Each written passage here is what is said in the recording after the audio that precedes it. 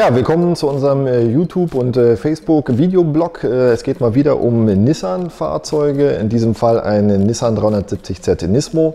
Und es geht wieder um Kamerasysteme. Fahrzeug hat bereits eine Rückfahrkamera montiert. Wir sorgen für die entsprechende Sicht nach vorne.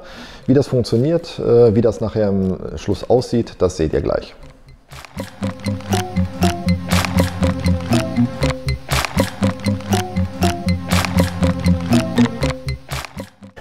Ja, 60 Minuten später, wir sind durch mit unserer Kameramontage. Ähm, sie ist wirklich richtig schön, super dezent versteckt beim 370Z. Ne, wenn man jetzt unter das Kennzeichen hier schaut, da sieht man die winzig kleine Kamera. Ja, wir haben sie extra so eingebaut, dass man diese Kante halt noch ein bisschen sieht. Das heißt, ihr könnt natürlich halt auch äh, wieder optimal dicht nach vorne an irgendein Objekt parken, an irgendein Auto, Wand, was auch immer. Wie das live aussieht, das zeigen wir euch jetzt gleich, wenn wir draußen sind. Ja, Einbau abgeschlossen. Kamera drin. Hinten war sie ja schon drin, ist die Originalkamera drin. Wie das jetzt genau funktioniert im Fahrzeug, das zeigen wir euch einfach. Da schwenken wir mal um auf das Display. Ihr seht jetzt momentan immer noch ähm, die Navigation in der Darstellung. Wenn wir das System aktivieren wollen, legen wir den Rückwärtsgang ein. Ihr seht jetzt das ähm, Bild von hinten. Jetzt nehmen wir den Rückwärtsgang wieder raus. Jetzt seht ihr das Bild von vorn. Rückwärtsgang wieder rein, Bild von hinten, Rückwärtsgang raus, Bild von vorn. Das Ganze funktioniert auch mit den dynamischen Linien. Ja, also lenkt ihr rechts, geht es nach rechts, lenkt ihr links, geht es nach links. Ja, jetzt fragt ihr euch natürlich, wie geht diese Kameradarstellung wieder weg. Das passiert nach 25 Sekunden vollautomatisch. Das heißt, wenn ihr den Rückwärtsgang nicht wieder eingelegt habt, schaltet das Bild halt automatisch wieder in die jeweils letzte äh, Darstellung zurück. Das heißt, auch in dem Fall, genauso wie beim GTR, keine zusätzlichen Knöpfe, alles eine vollautomatische Technik. Ihr braucht euch also um nichts kümmern, alles ist gut. Aufnahme läuft. Läuft schon die Aufnahme. Ja, äh, Take 2. Äh, aufgrund einer technischen Schwierigkeit mit unserer äh, Kameraanlage müssen wir das alles jetzt nochmal machen. Ähm, bin auch stark dafür, wir schneiden das nicht raus als Tribut an ja, danke. die, die mangelnde Leistung der Regie. Äh, ja, Kamerakit ist äh, drin und ab jetzt darf der Tino ein bisschen was darüber erzählen.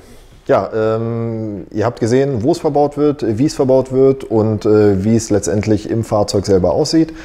Ähm, die große Frage bleibt natürlich noch im Raum stehen. Was kostet der ganze Spaß? Björn, das kannst du beantworten. Ja, ähm, Preis kennt ihr ja im Grunde schon von den anderen Kits. Ähm, wir werden bei 399 Euro wieder für das Frontkit liegen.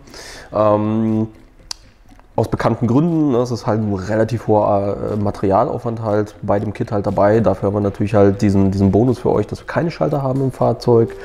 Ähm, das heißt, es ist eine vollautomatisierte Geschichte. Ähm, kleine Erwähnung noch mal am Rande bezüglich des Kabelsatzes, wenn ihr das kombinieren wollt mit einer Original-Rückfahrkamera, so wie wir das jetzt hier in dem Fahrzeug gemacht haben. Ähm, ihr braucht einen zusätzlichen Kabelsatz.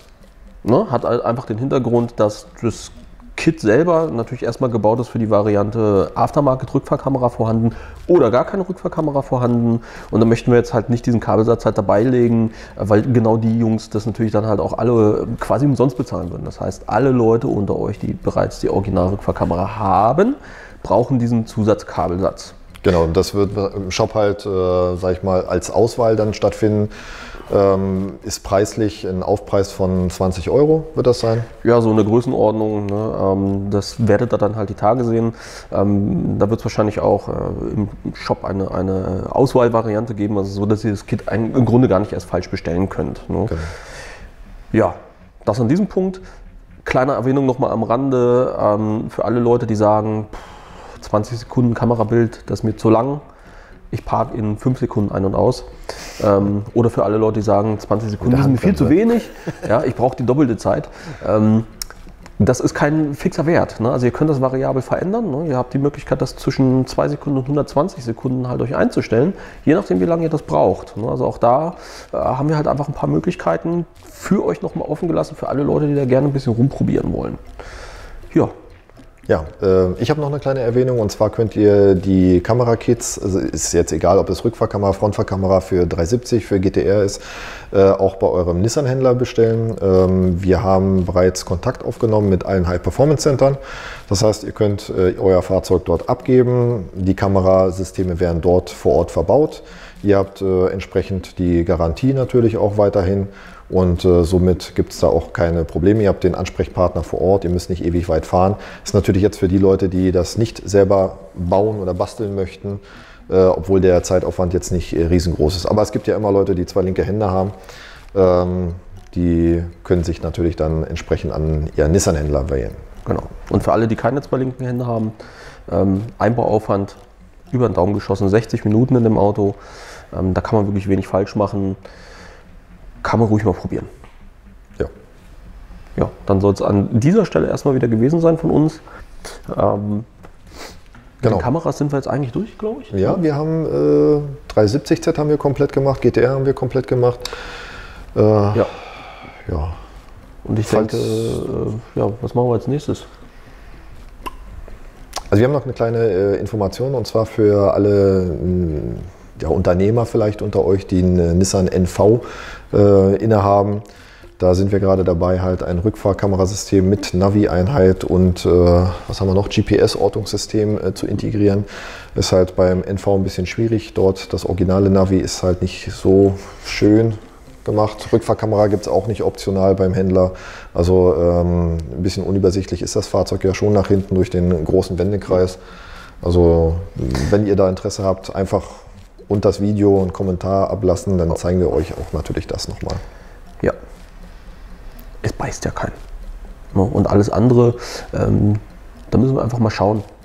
Ne? Also auch ähm, so diese Thematiken Nismo-Juke, äh, wo du jetzt anfängst immer mehr zu machen.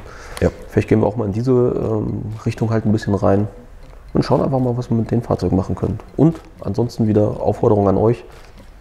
Wenn ihr Fragen habt, Anregungen oder uns einfach nur sagen wollt, dass wir immer viel zu lange quatschen am Ende der Videos, dann tut es einfach und ähm, freuen uns auf eure Kommentare. Genau. Ansonsten Daumen hoch, liken, teilen. Na, wir freuen uns drüber. So sieht's aus. Bis, Bis dahin.